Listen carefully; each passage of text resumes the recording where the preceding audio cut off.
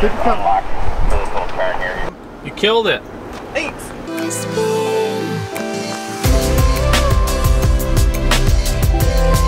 Hello, people on the interwebs. Today I am in Texas and I'm doing the Bronco Off Rodeo. It is being hosted by Bilstein, the suspension company, and it is an instructional course that you get when you buy a new Bronco. So there is a bunch of brand new Ford Broncos out here, and they have a bunch of courses to teach you how to properly use them off-road. And that's what we've been doing all day. So it's now lunchtime, and this morning we went out and did some instructional drives where you go through the course and they teach you the basics of how to use the vehicle. I wasn't quite sure what to expect when I first arrived, but the staff at the event and the Bilstein folks were incredibly kind-hearted, solid people, especially the man you hear giving instructions on the radio, who's known as the Hammer.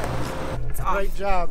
Thanks. The trail guidance was given via walkie-talkie with a direct line of sight of your Bronco in a patient and confidence-inspiring manner that I feel would be easily comprehensible regardless of how much of a moron you are.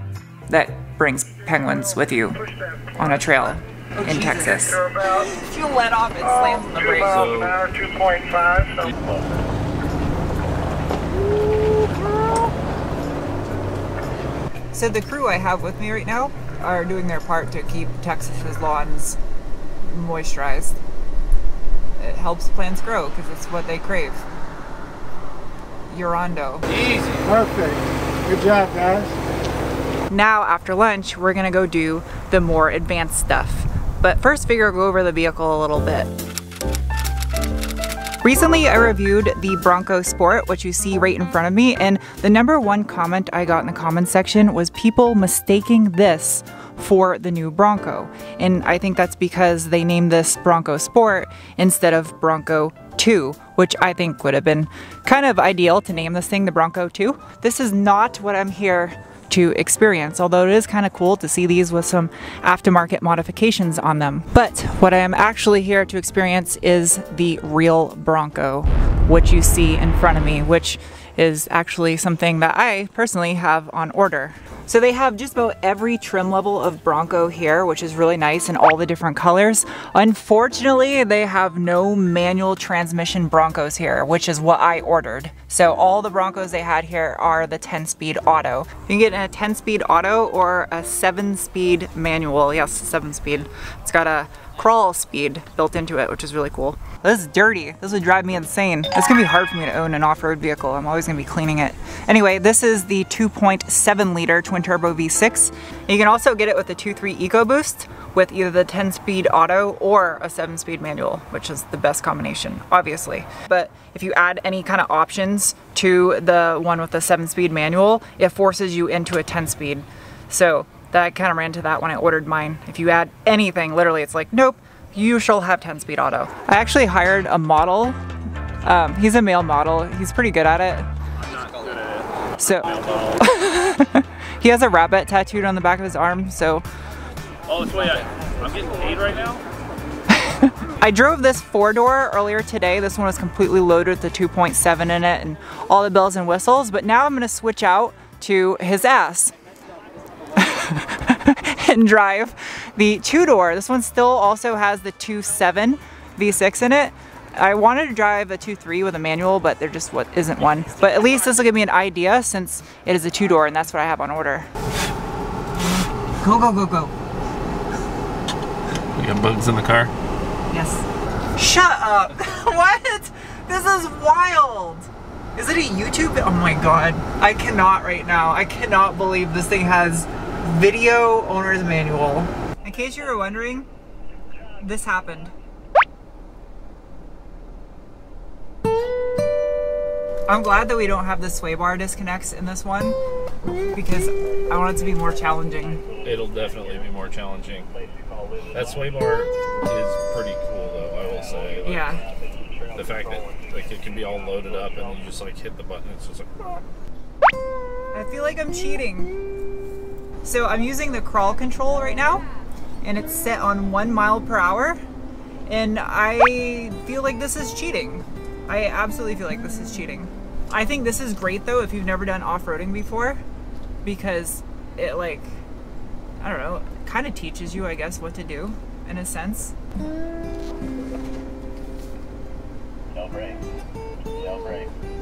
It's so unnatural to like let it do it. It's like, no, I want to do it.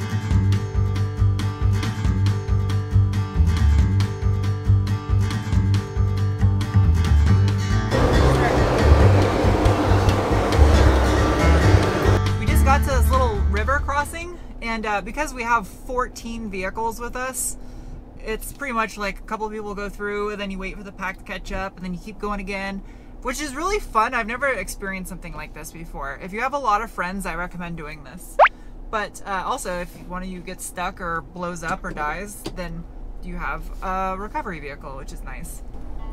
That was a little bit more dramatized than it needed to be.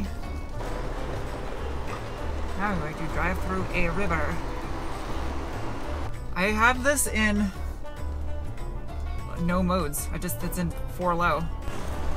Oh, stay still, penguin. This is fun. Okay, I'm gonna follow the same line.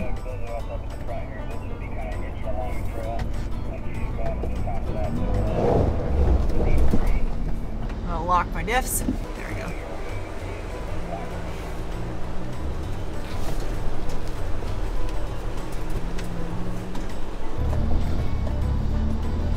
That made a world of difference using the lockers. I had them turned off just to see what it would do. It's kind of neat doing this and like having professionals around to explain each unique situation and what is like the best combination of modes to use. But it's something I've never experienced before and I think there's a lot of benefit in this course, even for people that think they're experienced off-roaders. It's you can never never hurts to keep learning more. That was so philosophical of me. That owner fan frowned, but I put it in two-wheel drive and just did a huge Bernie Sanders right here on this boy. Bernie Sanders.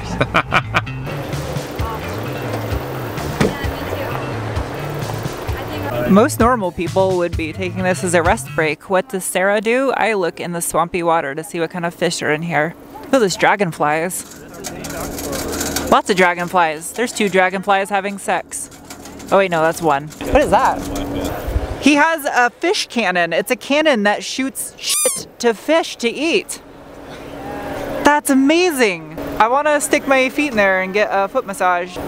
Wow, oh, those are huge catfish. Since I don't have a garage science opportunity in this because there's no lifts in the middle of the hill country of Texas, nor do I have a lab coat out here or would I want to wear a lab coat because it's hot as out here. Uh, I am going to incorporate some science. Explain the suspension science, science man. Yes, ma'am. I, I hardly have a lab coat either. This cutaway kind of helps demonstrate this this tech a little bit better. So we have our main piston here, Yeah. a rebound uh, area ESCV uh, piston, a compression area ESCV piston, and then our catch pistons on these springs. The springs don't actually have any function other than to return the catch piston to its position, but you can imagine there's a column of oil, solid column of oil here, that as the dampers or as the piston rod is passing through, you get to this po- portion where you're right at the end, and this catch piston engages with the ESCV piston and then starts to activate this valving. It has this column of oil has no choice but to push through the valving, which is independently tunable compression and rebound. That helps us really dial in that, that nice cushy last couple inches of, of suspension travel. How's the remote reservoir into that? The remote reservoir, because of the way that this technology works, we couldn't put the dividing piston and the gas charge underneath. So we, we put it externally. More surface area on this damper equals better cooling. So when you're really giving it giving her the beans off road, He knows giving it. I know I know about the beans.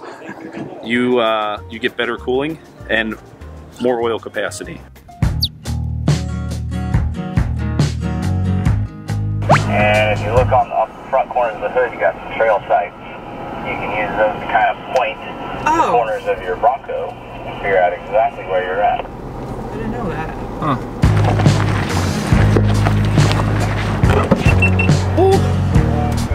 Did you walk? Yes, I thought you were gonna get a oh, ride Oh, no. with somebody. Oh was- no! I was following you. Coming. Nice throttle. Okay, turn off that front locker as you're rolling. Nice sweepy left hand turn. Keep coming, keep coming. Don't let off the truck, Jazz. Turn passenger a little bit. Okay. Bronco 2, let's make sure that front Keep for this little turn here. You're running pretty tight. Get on this one. Does anyone have rear AC vents in their Bronco? So, fun fact, none of those Broncos will have a formal vent that you were using like up in front. Nice They do steady throttle. Keep coming. than up a- Nice. Nice. A little forward right there, perfect. Now a little passenger. Reach up and with the right hand, keep rolling. And turn off that front locker. Keep rolling. Keep rolling. A little more throttle. A nice sweeping left hand turn. Great job. I didn't forget you this time. You killed it. Thanks. Made it look easy. It was pretty easy.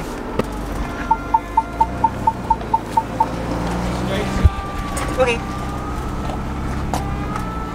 Alright. So slightly left, Okay. right there. off, Texas. Straight shot up, and then you're gonna take the next trail on the left. Okay. Front and rear lock. Right there. Hold that. Yep, lock front and rear.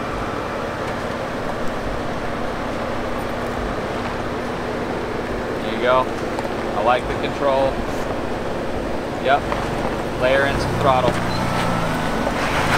There you go. Nicely done. Come my way just a touch. Right there. Nice. Nice! Beautiful work. Thank you. There you go. Yep, keep it left. There you go. Just like that.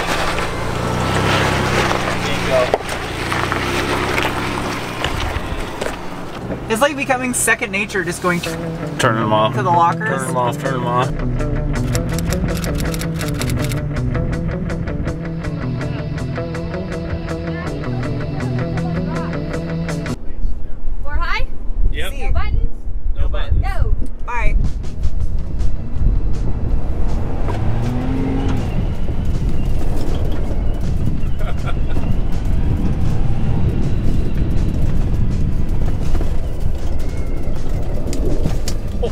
My head.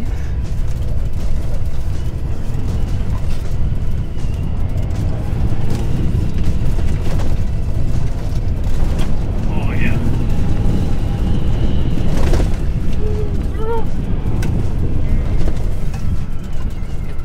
bumping it up to us up here in the shade tree.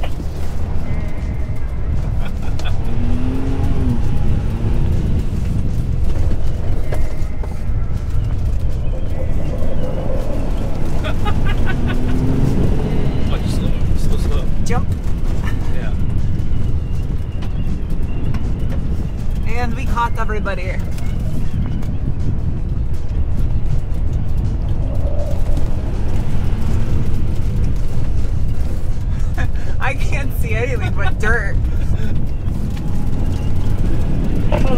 Up when you start driving? Who's the slow poke? That was this is the most fun part. Can't see, we got a lot of dust up here. There's the there's the jump too.